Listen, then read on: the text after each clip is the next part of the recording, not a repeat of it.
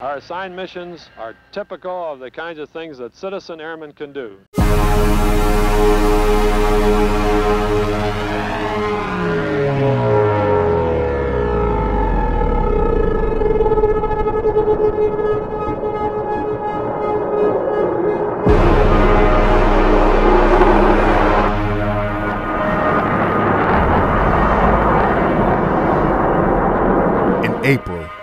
1948, the Air Force Reserve was established.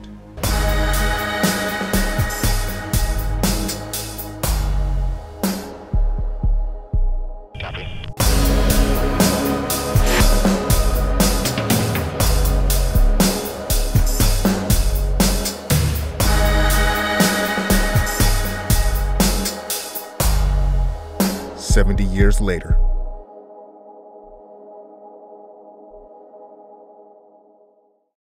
Captain Hodson and her KC 10 crew can extend vital missions by thousands of miles or dozens of hours.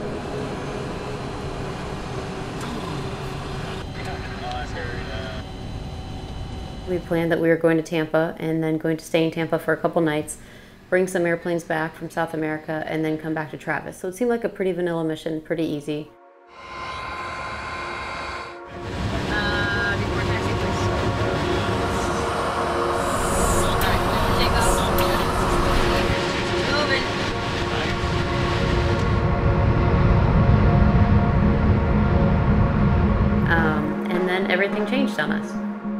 The Air Force Museum at Wright Patterson Air Force Base, Ohio, is filled with stories of our past.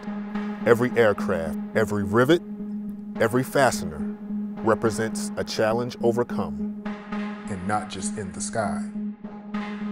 The Air Force is filled with stories of airmen who relied on their training, experience, and no small dose of courage to get the job done. Doolittle, Stewart, Reagan, all reservists. Jimmy Stewart, a bomber pilot over Europe, he not only served as a reservist, but rose to the rank of brigadier general. Jimmy Doolittle, his Raiders struck a blow when America needed it most, yet he was also a world renowned civilian pilot and reservist.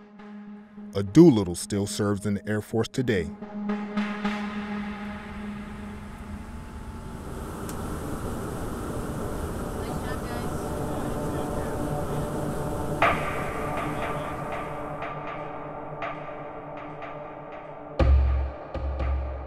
Um, they decided there was a more important mission coming down the pipes, and they retasked us and gave us a call and let us know that we were going to be going to um, McGuire and then Lajes. It was definitely going to be a much more complex mission than what we were planning for when we left Travis Air Force Base. And Miller, I can't see uh, see much with the spray. You're gonna kind of help me uh, as I get on the boom.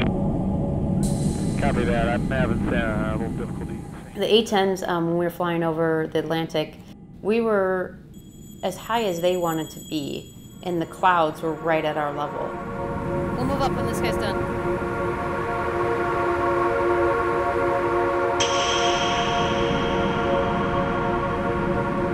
The other guy read you guys the weather. Uh, it hasn't changed. We'll get another update here in probably about 45 minutes. Copy. The comfort to do that kind of stuff comes with a little bit more experience. In April 1948, the Air Force Reserve took flight with a well defined mission fly, fight, and just like they had done in World War II, win. The expertise gained by aviators throughout the Second World War wasn't lost when the war ended. Part time military service allowed many to continue serving. The citizen airman model is still in use today, 70 years later.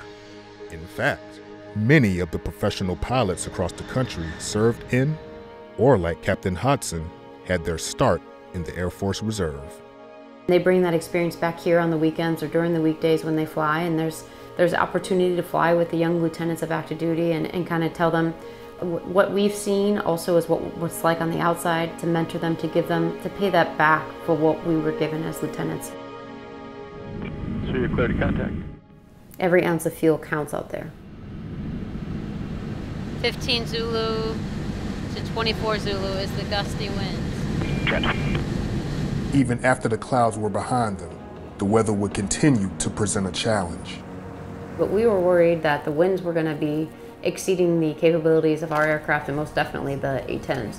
So we had enough gas to take us on to Morón if we needed to go on. So it was kind of another, um, you know, waiting to make a game time decision of are we going to Lajes or are we going to Morón? And fortunate for us, it was a headwind, so it wasn't a crosswind, so we were able to land and it also hadn't started raining yet. So we had the landing distance, we weren't worried about the winds, and we were able to get the um, A-10s in ahead of us.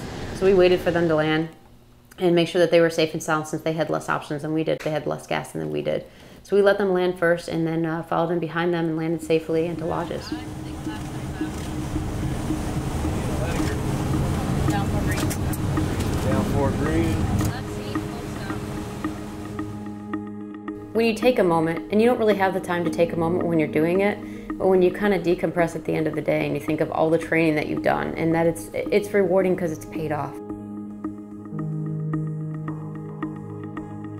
Have some friends that make fun of me that say you walk differently when you put on your flight suit. I think it's just it sounds so corny and cliche, but it's a sense of pride to know that you're part of something bigger than yourself.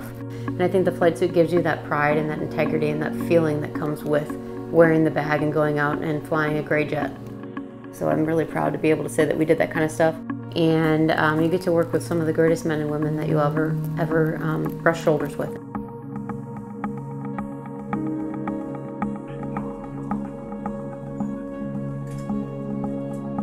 I look forward to what's to come. Today, the Air Force Reserve has 70,000 airmen stationed all over the world, flying and fighting side by side with their active duty counterpart. It's truly one of the most amazing things in the world. The next generation of reservists are in classrooms today. They're in high schools and colleges from every community. Technology changes, commitment does not. To those who served before us, we honor and thank you. As we mark our 70th year of service, rest assured, we're just getting started.